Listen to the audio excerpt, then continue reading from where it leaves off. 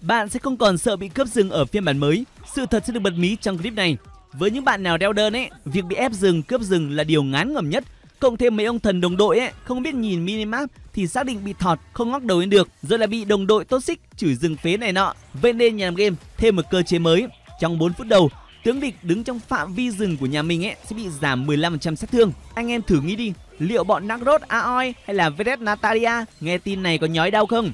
Nhưng theo tiên gì, giảm 15% nó không ăn thua trừ khi ngang kèo và ngang số lượng tướng để mà tranh chấp. Chứ một khi chiếc tướng đã vượt trội, cướp rừng lại còn hội đồng ấy thì phải giảm 50% sát thương của cái địch thì mới đủ được. Tất nhiên, các bạn phải cẩn thận với các vị tướng tay dài từ xa nhá, kiểu là bọn Elsu, bọn Joker đó. Nó qua tầm của rừng mà anh em thì nó không bị giảm đâu. Anh em nghĩ sao về cơ chế mới này? Liệu nó có giúp anh em dễ chơi hơn không? Kiếm cho em con Agrek thật ngon đi Ed ơi! Nghỉ hè, có nhiều thời gian, cài Agrek chuẩn bài luôn! Kimono của Vietjet Bá phương âm nhạc, tư lệnh robot luôn. Cầm reo rank tuyệt vời Lên ngay tiền gì shop.vn Mua nick giá rẻ nhé các bạn ơi. Coi tiền gì từ lúc chưa có ghẹ Bây giờ đã một vợ và hai con rồi Thì vẫn coi tiếp. Chuyện bình thường ở kênh của Tràm Game ấy. Còn có nhiều anh em tận 4x cơ mà. Quá là bình thường luôn nhá. Niềm đam mê mãnh liệt với game đúng không? Quan trọng là mình vẫn chăm sóc vợ con tốt. Còn game là giải trí. Thà chơi game còn hơn là đi nhậu đúng không? Vợ lại sướng quá ấy chứ. Góc trái để cái lối trang bị tiên gì của anh em test vị thương rồi nhá Vừa nói tới vấn đề cướp sừng Chưa gì cái thằng Nam đã nhảy ra hỏi thăm rồi các bạn ạ Nhưng mà đồng đội của tôi Đây là đồng đội của tôi anh em ạ Đó là sự khác biệt đấy Đừng có láo khi mà chúng tôi có những đồng đội rất mạnh nha anh em nha Ok, cái thằng Nagrod ấy TNG sẽ cho nó gọi là gọi là cái gì nhỉ? Tôi quên mất cái câu này rồi. Mất cả chì lẫn chài. Đúng rồi. Đi qua hỏi thăm nó luôn anh em. Caffeine qua nào. Rat Caffeine Phoenix sợ thằng nào đâu anh em. Vào là tẩm và chơi luôn. Cẩn thận cái thằng này nhá Đây đây, ao luôn ao luôn. Úi trời tuyệt vời quá. Yeah, đang ôn thi nhưng mà thấy thông báo TNG là em lại vào để coi nè. Tuyệt vời. Niềm đam mê đấy nhưng mà TNG em thật nè. Ôn thi đi. Thi xong tính sau nhá. Khi mà cái clip này lên ấy là hôm à, 11 tháng 6 thì TNG nghĩ rằng các bạn đã thi xong một số môn rồi đúng không? TNG chúc anh em nếu mà anh em thi dễ dàng ấy, thì quá tuyệt vời rồi. Nhưng mà các bạn nào mà thi không may mắn ấy, không sao cả anh em ạ. Cánh cửa này đóng lại, còn nhiều cánh cửa khác. Nghe nè. Không sao. Không học được trường này, chúng ta học trường khác nhá. Theo dõi được 4 năm rồi nè. Ok. Bạn này có yêu cầu TNG làm về Q được đấy. Đợi TNG có cơ hội, hoặc là có cái dịp để mà quay Q TNG sẽ thực hiện cho anh em. Giống con Phoenix này nè anh em à, tiện tay là quay luôn cho anh em bởi vì có một vài anh em yêu cầu và có hỏi tiên di là Phoenix mùa này đi rừng sẽ như thế nào? Ed ơi ok triển test đi rừng cho anh em luôn. Phải nói thực sự nhá con Phoenix là một con kiểm soát mục tiêu rất là ngon. Nhưng mà để nó nó đi rừng để mạnh ấy và để tranh chấp với con Elan ấy thì nó cũng gọi là một thằng thì 10 điểm một thằng thì 7 điểm thôi anh em ạ.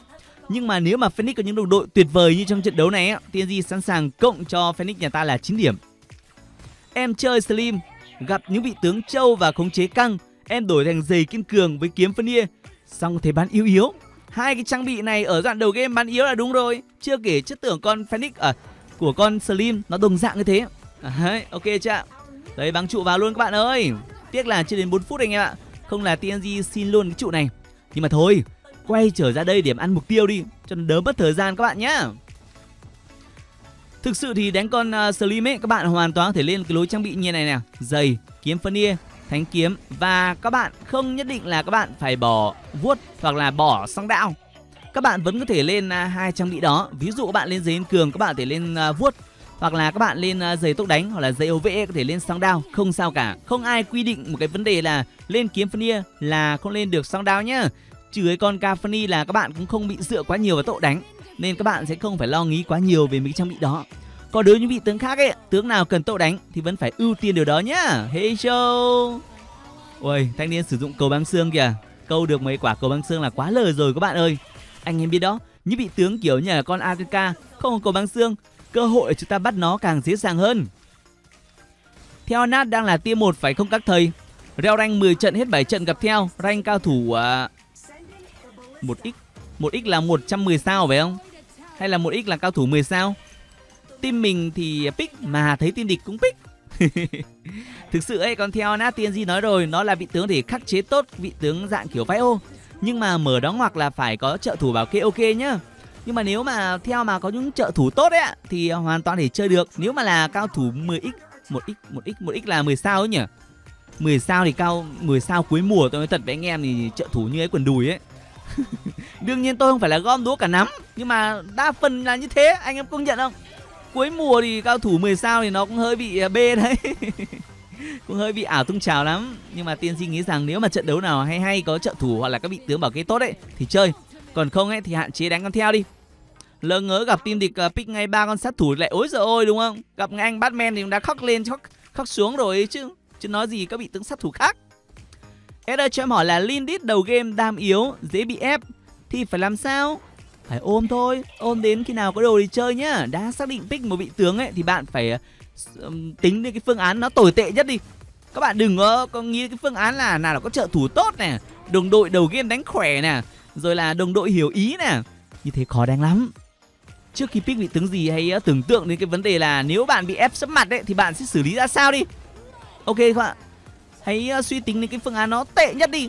Và nếu bạn giải được cái bài toán tệ nhất đấy ấy, thì đương nhiên kèo gì cũng chơi ngại gì vết bẩn đúng không? Thôi rồi các bạn ạ cứ hết chiêu hai nó lại lao lên. Lại gặp ngay cái ông ai ra nó không chế thế có đen không chứ? Đấy cái ông ai te chưa gì là xin bùa xanh của mình đi dạo chơi rồi. Nhưng mà thôi anh em ạ phải cao cả lên cho luôn. Và anh em biết không, anh em nào mà chơi TikTok ấy đừng quên à, theo dõi TikTok của trẻ game TNG nhá. Ấy, a còng TNG hai bảy ba. Ờ, anh em à, bấm cho TNG một nút theo dõi với nha anh em ơi. Sắp lên 10.000 theo dõi rồi đó. Toàn cập nhật những thông tin ngắn gọn và siêu nhanh cho anh em thôi à. Bởi vì TNG biết được rằng nhiều anh em đang ôn thi, nhiều anh em đang làm việc cần những cái thời gian ngắn nhưng mà đủ thông tin. Ờ, cái trận đấu này là 9 phút rồi các bạn ơi, phải cố gắng end game sớm thôi. Chứ trận đấu này để mà kéo về sau cùng ấy rất khó chơi.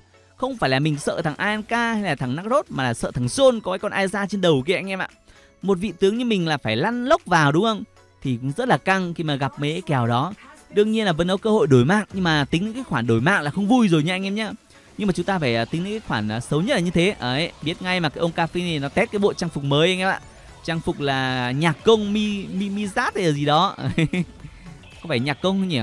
hay là ừ, TNG hôm trước có làm review skin cho anh em đó thì như là cái cái cái gì kèn đoàn ấy kèn đội gì ấy ai ra có nên cầm tinh linh không hết ơi em thấy một số người vẫn dùng gớm.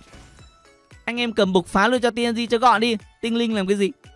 Bộc phá đi nhá. Bộc phá đi cho nó nhanh gọn đi. Đỡ phải mất thời gian tinh linh, tinh tinh tinh này nọ đúng không ạ? Cứ bộc phá mà chơi nhá. Nếu với cái phong cách cầm tinh linh đó ấy. Đồng đội nó lại ủng hộ quá chứ, đúng không?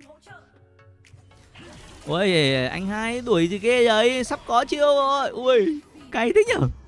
Đúng còn một chút chút chút, chút thôi anh em ạ. Nhưng không sao. Thôi thì à, cũng lấy mạng cái thằng à, đắc rốt cho nó đệm lưng cùng rồi. Anh em thấy không? Một mình mà vẫn chén khỏe. Nếu mà thêm đồng đội nữa nó lại càng chén nhanh hơn đúng không ạ? Đó. Không phải tự dưng mà con phoenix này nó được mệnh danh là bị tướng uh, gọi là gọi là gì nhỉ? Bê trụ và ăn các mục tiêu nó rất là tuyệt vời. Chúng ta hay gọi một cái câu rất là thân thương và nó chuyên môn hơn một tí đó chính là kiểm soát mục tiêu lớn. Ấy anh em thích gọi là kiểm soát mục tiêu lớn cho nó màu mè hay là thích gọi là um, ăn dế tà thần và dụng ạ? Tiên di nghĩ rằng anh em thích ờ, một tí ờ, văn vẻ nhỉ? Ok không? Đặc biệt là anh em khán giả của kênh trải game ấy, thì chắc chắn là phải có một tí ở đấy nó văn thơ một tí, đúng không ạ? Ôi rồi ôi, phát hiện ra rồi nhá. Tặng cho một quả chiêu cuối và chúng ta vào hỏi thăm thôi. Ờ, rất tiếc là ghim quả chiêu một không được vào đầu cái thằng nắc rốt tốt cho lắm, thành ra không được hồi chiêu hai ấy ấy ấy lui lui lui lui lui lui. Nguy hiểm quá. Còn chút máu thôi anh em ạ. Ê, cho em hỏi là Frat mùa này đeo rank còn ổn không? Theo TNG Frat ấy, chúng ta pick theo kiểu dạng là để mà khắc chế cái địch dễ dàng chơi hơn. Ví dụ cái địch uh, pick Kali thì mình chơi Frat đúng không? thì là ừ, cho nó khắc luôn à. Rất là tuyệt vời anh em ơi. Và Frat còn có thể khắc chế rất là nhiều kèo đấu tuyệt vời khác. Nếu các bạn thích thì TNG làm cho anh em. Cứ comment dưới video đi nói chung là anh em cứ comment con nào làm nhiều là tiên gì làm thôi à. Đơn giản vậy thôi. Bởi vì kênh mình là kênh giao lưu mà anh em. Tiên gì có phải là làm video dạy hay là chỉ dạy gì anh em đâu? Hay là hướng dẫn gì đâu? Chỉ đơn giản là gợi ý và truyền cảm hứng thôi. Nên gì chẳng có quan tâm mấy khoản là phải làm tướng mạnh hay là tướng yếu. Chỉ cần các bạn thích thì quất thôi, giống con phoenix này nè. Một vài anh em yêu cầu và câu hỏi thì ok. Thực chiến luôn, đúng không? Thực chiến phoenix đi rừng luôn ạ. À. sao phải ngại? Game là giải trí mà, anh em không phải ngại ngùng mấy khoản kia nhá. Anh em cứ thích kiểu là tướng mạnh tướng kia để mà lấy highlight nhiều các thứ đúng không ạ? TNG không cần. Chỉ cần anh em uh, có nhu cầu và TNG uh, ờ, có cảm hứng để mà chơi ấy, thì oanh luôn anh em nhá. Không phải gì phải ngại cả. Một k năm rồi nè. Đồ đạc cũng hơi bị gọi là đầy đủ ở đấy các anh em.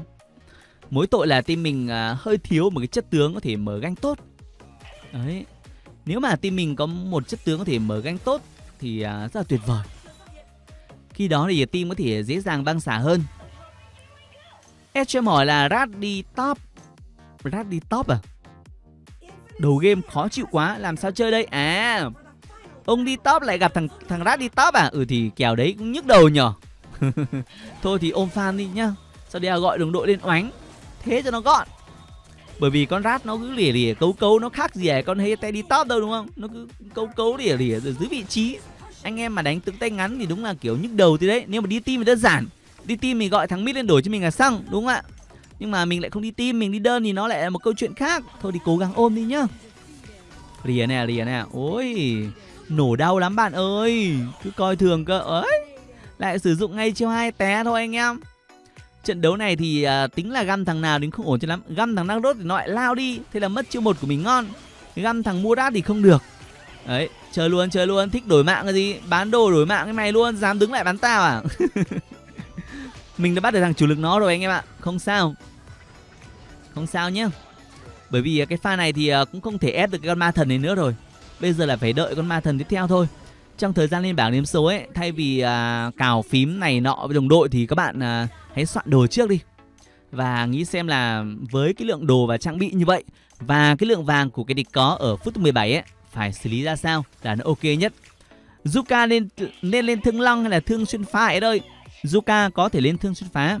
Nhưng mà TNG uh, à, thích Zuka thương long hơn. Còn nếu mà lên thương xuyên phá ấy, thì à, tiên TNG thích cầm đó chính là một Zuka đi rừng. Bởi vì mình có thêm bùa xanh đúng không ạ? Làm thêm quả xuyên phá cho nó bùng nổ sớm. Còn anh em thì sao ạ? Anh em bet Zuka làm cho TNG một quả feedback đi dù sao thì anh em bet Zuka thì anh em cũng có thời gian chơi Zuka nhiều và có nhiều nhiều thời gian để mà trải nghiệm thì uh, chắc chắn sẽ có nhiều trải nghiệm hơn TNG. Ok các bạn, hãy comment dưới video nhé.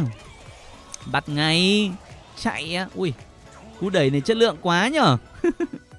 Không sao, 26, 25, chuẩn bị ra tà thần rồi nè. Cái tình hình chuẩn bị ra cái con uh, ma thần phút 15 đấy thì các bạn nhớ là các bạn phải uh, không được bị bắt lẻ nhá. Team nào bị bắt lẻ vào cái thời điểm này ấy thì nguy cơ bị toang rất cao. Kể cả là team địch đang có đường siêu cấp nhưng nó vẫn có thể bật lại luôn. Và TNG cảm ơn anh em đã tin tưởng TNG Shop.vn nhá. Đã ủng hộ TNG một cách là mua nick này, mua tài khoản hoặc là mua Arcrec Đó, anh em gặp bất kỳ sự cố gì thì liên hệ ngay fanpage là Trải nghiệm game TNG Fanpage Face nhá. Nhân viên mà chưa hỗ trợ, nhân viên mà chưa gọi là đáp ứng được yêu cầu của anh em ấy Liên hệ cho TNG Ok chưa nhá? Đó Anh em nhìn đi, nhìn cái ký hiệu của con à, ma thần đi. Xin ngay và thả thôi, đường siêu cấp mà anh em Cứ thế mà thẳng tiến. Ồ TNG đã phát hiện ra thằng nào ở đây rồi nè? Thằng Nakrot Ú, anh ơi, anh lao vun vút như tên lửa qua đây, chết giờ rồi, Lại còn vừa sử dụng xong chiêu 1 chiêu 2 Thế là toang ngay anh em. Team địch đã mất đi ba người thì các bạn chắc là biết kết quả trận đấu rồi nhỉ? Anh em đừng quên tặng TNG một nút like Và comment dưới video các câu hỏi thú vị để câu hỏi hoặc là hỏi thăm hoặc là khoe thành tích được anh em ạ, Để chúng ta cùng trao đổi nhá.